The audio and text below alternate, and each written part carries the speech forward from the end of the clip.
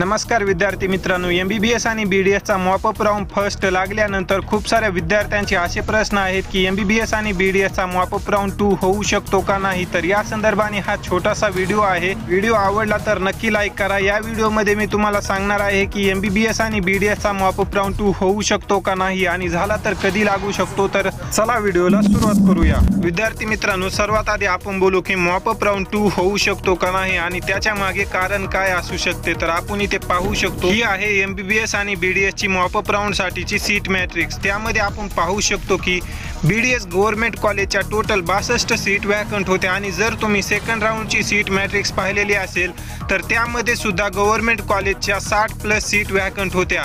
म्हणजे विद्यार्थ्यांनी बी D एसला admission घेतलेले नाही. खूपच कमी विद्यार्थ्यांनी बी डी एसला रिटेन्शन दिलेली आहे. आणि त्यामुळे बी डी एसच्या ज्या आहेत त्या सेकंड राऊंडमध्ये होत्या.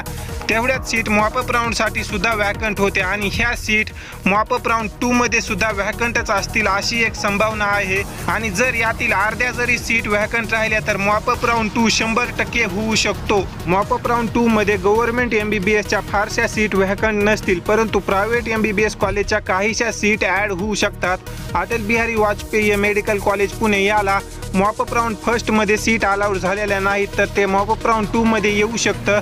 म्हणून मॉपअप राऊंड टू जो आहे तो शंभर टक्के होऊ शकतो. आता आपण बोलूया जर मॉपअप राऊंड टू झाला तर तो कधी लागू शकतो? तर तो मॉपअप राऊंड एप्रिलच्या फर्स्ट वीकमध्ये लागू शकतो. जवळपास सात ते आठ एप्रिलला मॉपअप राऊंड टू लागू शकतो. एम बी बी एस आणि बी डी एसचा जवळपास ऑल इंडिया कोटाची आता काउन्सिलिंग संपत आलेली आहे. त्यामुळे आता स्टेट काउन्सिलिंगला काही अडचणी येणार नाही त्यामुळे मॉपअप राऊंड टू लवकरच डिक्लेअर होण्याची संभावना आहे. एम बी बी एस आणि B D S mop up round टूच्या संदर्भाने काही जरी अपडेट आल्या तर मी तुम्हाला व्हिडिओ मार्फत कळवेल. या व्हिडिओमध्ये आपण इथे थांबूया. धन्यवाद.